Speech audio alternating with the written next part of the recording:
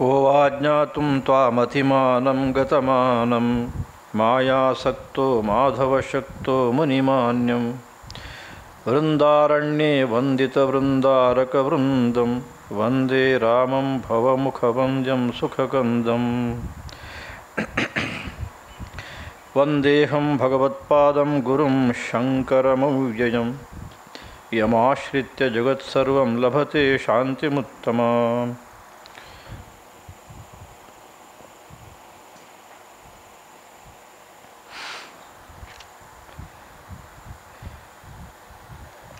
ಭಾರತ ಅಷ್ಟಕ್ಕೆ ಮಾತು ನಿಲ್ಲಿಸಿದಿದ್ದರೆ ಅನ್ಯಥಾ ಭಾವಿಸುವುದಕ್ಕೆ ಕಾರಣ ಆಗ್ತಿತ್ತು. ರಹುಗಣನಿಗೂ ಅಷ್ಟೇ ಒಂದು ಉಳಿದವರಿಗೂ ಅಷ್ಟೇ. ಆದರೆ ಭರತ ಅಷ್ಟಕ್ಕೆ ನಿಲ್ಲಿಸಿಲ್ಲ. ನಿನ್ನೆಯ ಮಾತಿನಲ್ಲಿ ನಾವು ಗಮನಿಸಿರ್ಬೋದು ವ್ಯವಹಾರಕ್ಕೆ ಸಂಬಂಧಪಟ್ಟಂತಹ ವಿಚಾರಗಳಲ್ಲಿ ಅವ ಏನು ವ್ಯಂಗ್ಯವಾಗಿ ಹೇಳಿದ್ನೋ ರಹುಗಣ ಅದಕ್ಕೆ ಉತ್ತರವನ್ನು ಭರತ ಕೊಟ್ಟ. ಆದರೆ ಮಾತು ಮುಂದುವರಿಸ್ತಾ ಭರತ ಹೇಳಿದ ರಾಜನ್ನಂದ ಅಯ್ಯ ರಹುಗಣ ನಾನು ವ್ಯವಹಾರಕ್ಕೆ ಸಂಬಂಧಪಟ್ಟ ಮಾತನ್ನು ಹೇಳಿದಷ್ಟಕ್ಕೆ ನೀನು ಮುಗಿಯಿತು ಅಂತ ಅಂದ್ಕೊಳ್ಬೇಡ. ಯಾಕೆ ಅಂತಂದರೆ ವೇದದಲ್ಲಿ ಏನು ಹೇಳಿದೆಯೋ ಅದರ ಬಗ್ಗೆ ಅಭಿಪ್ರಾಯ ಏನು ಅಂತ ಕೇಳು ಬಲ್ಲವರದ್ದು. ನಂದಲ್ಲ, ಬಲ್ಲವರ ಅಭಿಪ್ರಾಯ ಏನು? ಏನು ಹೇಳ್ತಾರೆ? ಬಲ್ಲವರು ಹೇಳ್ತಾರೆ, ಹೇಗೆ ಲೌಕಿಕವಾದ ವ್ಯವಹಾರ ಅನ್ನೋದು ಪಾರಮಾರ್ಥಿಕವಾಗಿ ವಿಚಾರ ಮಾಡಿದರೆ ಅದು ಇಲ್ಲವೇ ಇಲ್ಲವೋ? ಅಥವಾ ಇದ್ದರೂ ಅದು ಶರೀರಕ್ಕೆ ಸಂಬಂಧಪಟ್ಟಿದ್ದಾಗಿರುತ್ತೋ? ಹಾಗೆ ಅಂತ ಇಟ್ಕೋ ಈಗ. ನಾನು ಈಗ ಹೇಳೋದನ್ನು ಕೇಳು ಅಂದ ಭರತ ತಥೈವ ರಾಜನ್ ಉರುಗಾರ್ಹ ಮೇಧ ವಿತಾನ ವಿದ್ಯೋರು ವಿಜೃಂಭಿತು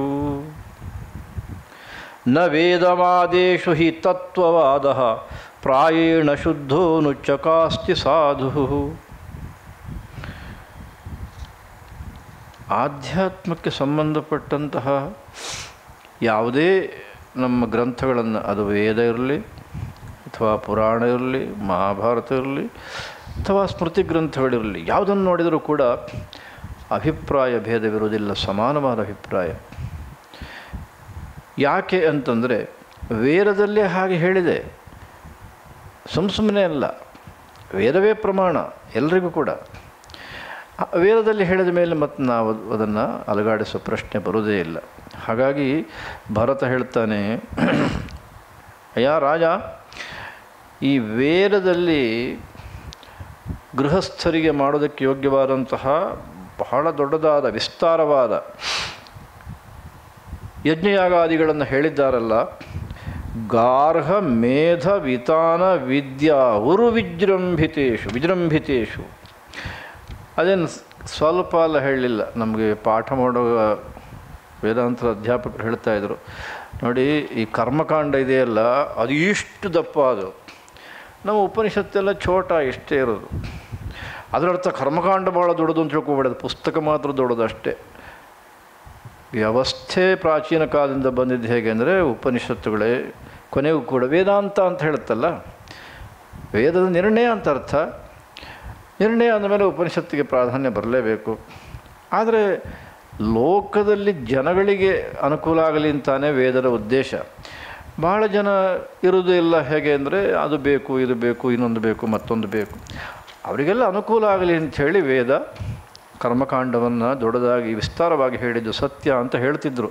ಈಗ ಇಲ್ಲಿ ಭಾಗವತದಲ್ಲಿ ಏನು ಹೇಳ್ತಾರೆ ನೋಡಿ ಭರತ ಅದೇ ಮಾತನ್ನು ಹೇಳ್ತಾನೆ. ಇದೆಲ್ಲ ಬಹಳ ವಿಸ್ತಾರವಾಗಿ ಹೇಳಿದೆ, ಆದರೆ ನ ವೇದವಾದೇಶು ಹಿ ತತ್ವವಾದ ಈ ವೇದದ ಭಾಗ ಯಾವುದಿದೆ? ಕರ್ಮಕಾಂಡವನ್ನು ಹೇಳ್ತಕ್ಕಂಥದ್ದು ವೇದವಾದ. ಅಲ್ಲಿ ತತ್ವವಾದವನ್ನು ನಾವು ಅಷ್ಟು ಕಾಣೋದಕ್ಕೆ ಸಾಧ್ಯವಿಲ್ಲ ಪರಮಾತ್ಮನ ತತ್ವ ಏನು? ಮನುಷ್ಯನ ಜೀವನದ ಉದ್ದೇಶ ಏನು? ಅದನ್ನು ಸಾಧಿಸೋದು ಹೇಗೆ? ಇದು ಅಲ್ಲಿ ಅಷ್ಟೊಂದು ವಿಚಾರ ಬರೋದಿಲ್ಲ. ಒಂದು ಭೂಮಿ ಬೇಕು, ಇನ್ನೊಂದು ಬೇಕು, ಮತ್ತೊಂದು ಬೇಕು, ಈ ಬೇಕುಗಳೊಂದಷ್ಟು ಇರ್ತಾವಲ್ಲ ಅದಕ್ಕೆ ಬೇಕಾದಂಥ ಎಲ್ಲ ಅನುಷ್ಠಾನಗಳನ್ನು ಅಲ್ಲಿ ಹೇಳಿದ್ದಾರೆ. ಪ್ರಾಯೇಣ ಶುದ್ಧೋನು ಚಕಾಸ್ತಿ ಸಾಧು ಅಂತ ಮುಂದಿನ ಮಾತು.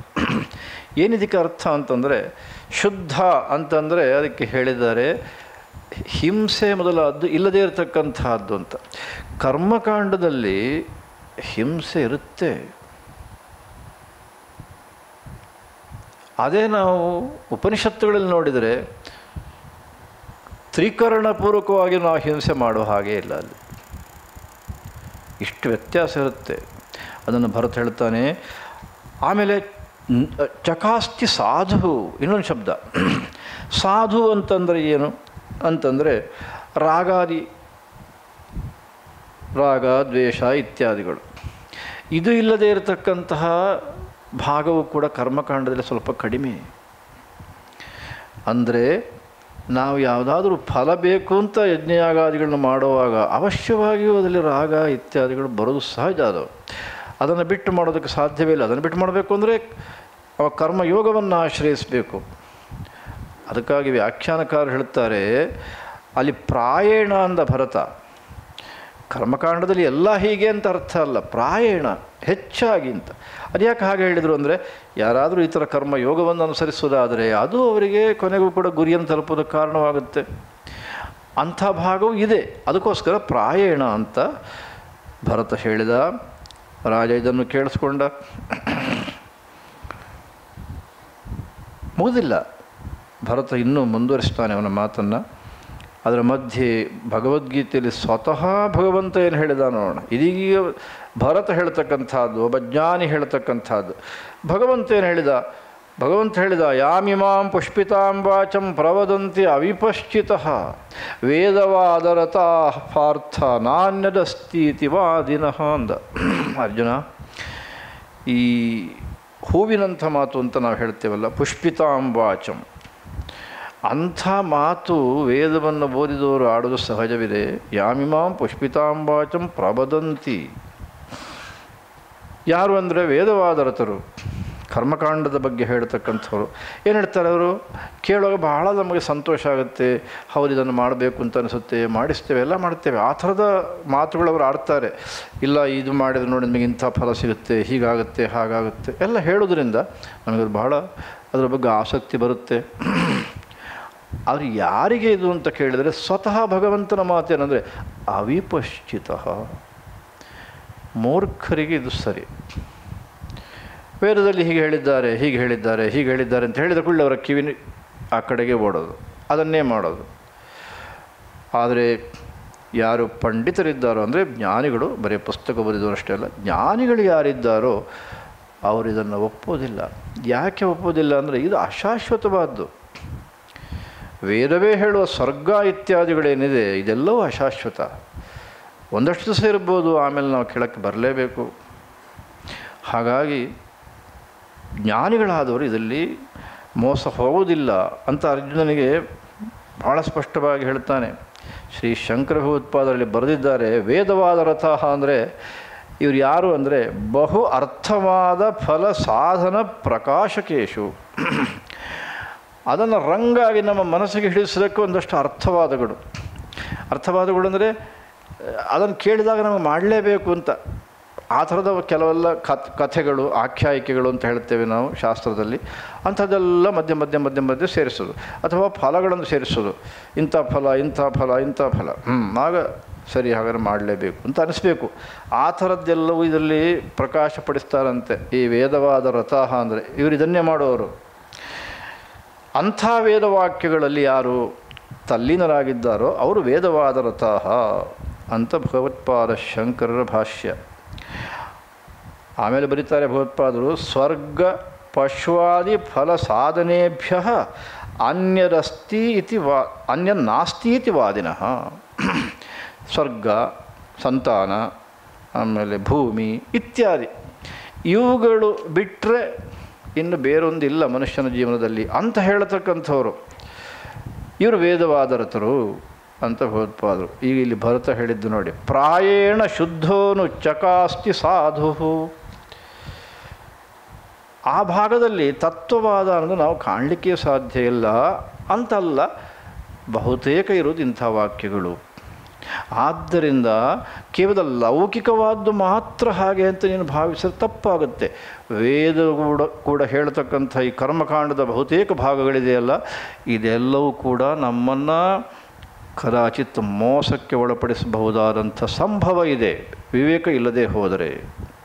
ಅಂತ ಭರತನಿಗೆ ಉಪದೇಶ. ಭಗವತ್ಪಾದರು ಉಪದೇಶ ಸಹಸ್ರಗಳನ್ನು ಅಮೋಘವಾದ ಮಾತು ಹೇಳ್ತಾರೆ. ಯಾಕೆ ಇಂಥ ಮಾತನ್ನು ಹೇಳ್ತಾರೆ ಅಂತಂದರೆ ಭಗವತ್ಪಾದ ಹೇಳ್ತಾರೆ, ಅರೆ ಕರ್ಮಕಾಂಡ ಅಂದಮೇಲೆ ಅಹಂಕರ್ತ ಮಮ ಇದಂ ಸ್ಯಾತ್. ಬೇಕೇ ಬೇಕಲ್ಲ. ಯಜಮಾನ ಯಾರು? ನಾನು, ಮತ್ತೆ? ಹ್ಞೂ ಸಂಕಲ್ಪಕ್ಕೆ ನಾನು. ಮತ್ತು ಸಂಕಲ್ಪ ಎಲ್ಲ ನೀನೇ ಮಾಡಿದ ಮೇಲೆ ಫಲ ಯಾರಿಗೆ ಹೋಗಬೇಕು ನಿನಗೆ ಹೋಗ್ಬೇಕಾ? ಬೇಡ. ಭಗವತ್ಪಾದರು ಹೇಳ್ತಾರೆ, ಅಹಂಕರ್ತ ಮಮ ಇದಂ ಸ್ಯಾತ್, ಇತಿ ಕರ್ಮಂ ಕರ್ಮ ಪ್ರವರ್ತತೆ. ಇಲ್ಲಿ ಕರ್ಮಕಾಂಡದಲ್ಲಿ ವಸ್ತ್ವಧೀನ ಭವೇದ್ ವಿದ್ಯಾ, ಅದೇ ವಿದ್ಯೆ ಇದು ಯಾವ ತಕರಾರೇ ಇಲ್ಲ ಅಲ್ಲಿ. ಅದು ವಸ್ತುವಧೀನ, ಆನಂದ ಅನ್ನೋದು ಹೇಗಿದೆ ಅಂತ ಇದ್ದ ಹಾಗೆ ಥೇಟ್ ಅಂತ ಹೇಳ್ತೇವಲ್ಲ ನಾವು, ಅದನ್ನು ನಮ್ಮ ಕಣ್ಣ ಮುಂದಕ್ಕಿಡುತ್ತೆ ಇದು ಉಪನಿಷತ್ತುಗಳ ಪ್ರ ಒಂದು ಹೆಚ್ಚುಗಾರಿಕೆ ಅಂತಲೇ ಹೇಳಬೇಕು. ಭಗವತ್ಪಾದ ಹೇಳ್ತಾರೆ ಕರ್ತೃಧೀನೋ ಭವೇದ್ ವಿಧಿ ಅದೇ ವಿಧಿ, ಹೀಗೆ ಮಾಡು, ಹಾಗೆ ಮಾಡು, ಅದು ಮಾಡು, ಇದು ಮಾಡು, ಇದೆಲ್ಲವೂ ಕೂಡ ಯಾರು ಮಾಡೋನೋ ಅವನನ್ನು ಅವಲಂಬಿಸಿರುತ್ತೆ. ಇಂಥ ವ್ಯತ್ಯಾಸವಿದೆ ವೇದಾಂತಕ್ಕೂ, ವೇದದ ಉಳಿದ ಭಾಗಕ್ಕೂ ಕೂಡ. ಆದ್ದರಿಂದ ವಿವೇಕಿಯಾದವ ಕರ್ಮವನ್ನು ಮಾಡುವಾಗ ನಾನು ಯಾವ ರೀತಿಯಲ್ಲಿ ಮಾಡಬೇಕು? ಯಾವ ರೀತಿಯಲ್ಲಿ ಮಾಡಿದರೆ ನನಗೆ ಮತ್ತೆ ಗಂಟು ಬೀಳುವುದಿಲ್ಲ ಅಂತ ಚೆನ್ನಾಗಿ ಯೋಚನೆ ಮಾಡಿ ಆ ಕರ್ಮಗಳನ್ನು ಮಾಡಿದ್ದೇ. ಆದರೆ ಆಗ ಅದು ನಮಗೆ ಪ್ರಯೋಜನಕ್ಕೆ ಬರುತ್ತಷ್ಟೇ ಹೊರತು ಇಲ್ಲ ಅಂದರೆ ನಾವು ಸಿಕ್ಕಾಕೊಳ್ಳೋ ಪ್ರಮೇಯವೇ ಹೆಚ್ಚು. ಯಾ ರಹುಗಣ? ಹಾಗಾಗಿ ನಾನು ಹೇಳಿದ್ದು ಕೇವಲ ಲೌಕಿಕಕ್ಕೆ ಅಂತ ಮಾತ್ರ ಭಾವಿಸಬೇಡ. ವೈದಿಕ ಕಾರ್ಯಗಳಿಗೂ ಕೂಡ ಹೀಗೆ. ಇದು ಕೇವಲ ರಹುಗಣನಿಗಲ್ಲ, ಸಮಸ್ತ ಸಮಾಜಕ್ಕೆ ಸರ್ವಕಾಲಕ್ಕೆ ಅದು ನೆನಪಿಟ್ಟುಕೊಳ್ಬೇಕು ಹರ ನಮಃ ಪಾರ್ವತೀಪತಯೇ ಹರ ಹರ ಮಹಾದೇವ್ ಸೀತಾಕಾಂತ ಸ್ಮರಣಂ ಜಯ ಜಯ ರಾಮ